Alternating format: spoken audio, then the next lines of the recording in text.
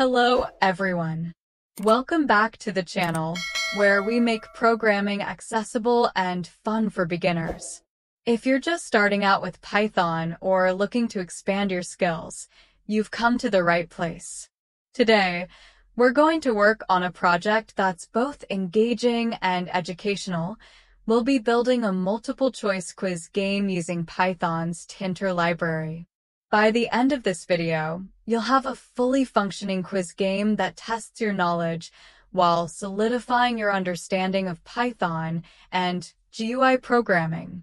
This tutorial is perfect for beginners who want to get hands-on experience with Python. Let's dive in and start coding. So, what exactly are we building today? Our quiz game will ask you a series of general knowledge questions. For each question, you'll see five different answer choices, and your job is to pick the correct one by clicking the corresponding button. Simple, right? We'll go through the code step by step, so even if some parts seem tricky at first, don't worry. By the end of this video, everything will make sense. Let's get started with the code.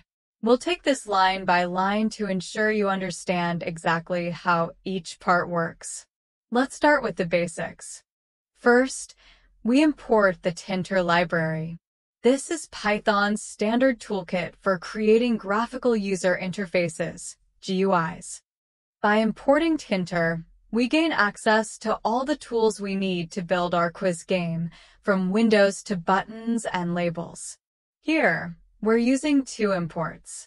Tkinter as TK gives us a shorthand way to reference Tkinter throughout our code, and from Tkinter import message box allows us to easily create pop-up messages. Message boxes are what we'll use to display the final score at the end of the quiz. Next, we define our quiz data. This is a list of dictionaries, where each dictionary contains one question, a list of possible answers, and the correct answer. This structure keeps everything organized and makes it easy to loop through the questions later on. Each entry in this list represents a single question. The question key holds the text of the question itself.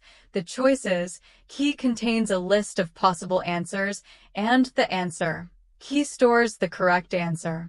This makes it easy for us to reference and compare later. Moving on, we define the check answer function. This function is crucial because it's responsible for checking whether the player's selected answer is correct. If it is, we increment the score. Here, we pass the selected choice, that's the answer the player clicked on, to the function. We then compare this choice to the correct answer stored in our quiz data. If they match, we increase the score by 1. Next, we advance to the next question. If there are more questions left, we update the display. If not, we show the final score. This code checks if there are more questions to be asked by comparing the current question index with the total number of questions. If there are more, we call the update question function to update the quiz display. If not, we call show final score to display the final result. Now, let's look at the update question function. This function updates the question text and the possible answers on the screen each time the player moves to a new question. Here, questionLabel.config updates the question text, while buttons i.config updates the text on each button to display the new answer choices.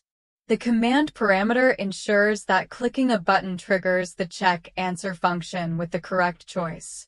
Finally, let's take a look at the show final score function. This is what displays the player's score at the end of the quiz. This function creates a message box that shows how many questions the player got right out of the total number of questions. Then, it exits the game by calling root to quit. To put it all together, we set up the Tkinter window and call these functions to start the quiz.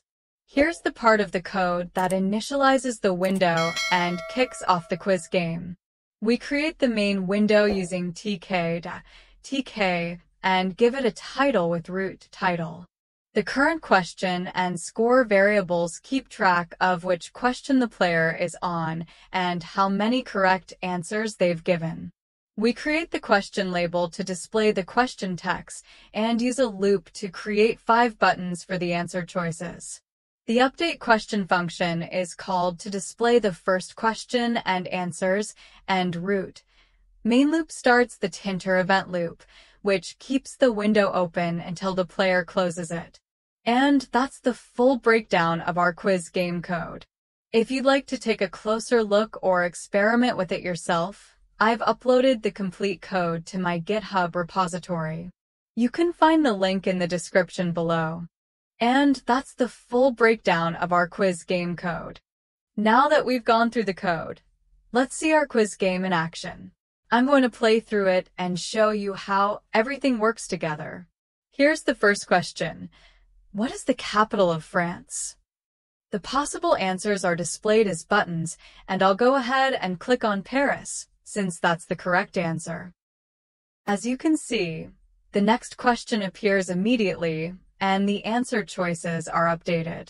This continues until all the questions have been answered. And now, for the moment of truth. Let's see our final score. Great! The game calculates our score and displays it in a message box. You can easily expand this project by adding more questions, changing the topics, or even introducing different types of questions, like true slash false or short answer. I hope you enjoyed building this quiz game with me today. It's a fantastic project for beginners because it covers so many fundamental Python concepts while being a lot of fun to create and play. If you found this video helpful, please give it a thumbs up and share it with your fellow coding enthusiasts. Don't forget to subscribe to the channel and hit the notification bell so you never miss out on new tutorials and coding tips. We have plenty of exciting projects lined up that will take your programming skills to the next level. If you have any questions or ideas for future videos, drop them in the comments below. I'd love to hear from you. Thanks for watching, and I'll see you in the next video. Keep coding, stay curious, and have fun with Python. Bye for now.